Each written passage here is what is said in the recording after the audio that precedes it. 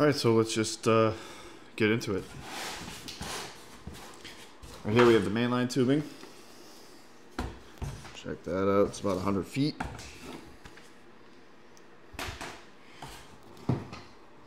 We have the filter and the regulator.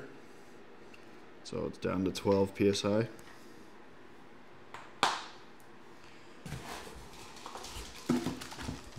This thing is a hole punch, so you just poke holes in the main line. Holy shoot.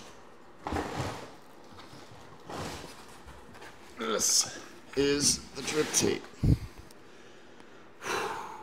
So I got the 8 ml, the 8 mil. So, wow, this is really heavy. Can you even see that? So you can't actually see it's in a package, but we'll open it up.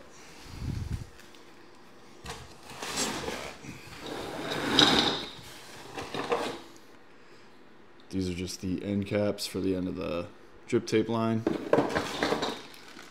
Uh, fittings, connectors, hose barbs, and more different type of connectors here. So, so you can see this pretty much it.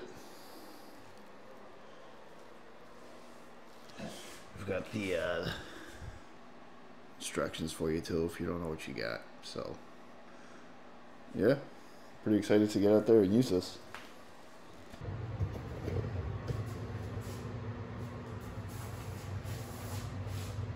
Okay, so here is the drip tape. They were nice enough to uh, tape it for me. Tape the drip tape. So you can see it's just the um, the flat tubing. When it fills up with water, that's when it expands. So if you've never used drip tape before, that's why it looks literally so thin and so flat. But yeah.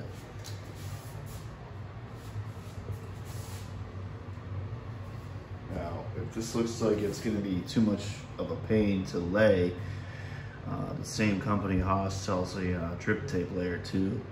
So I think it's like a wheel hoe. You just run it down the lines of your garden, and uh, it's much easier to lay uh, drip tape that way.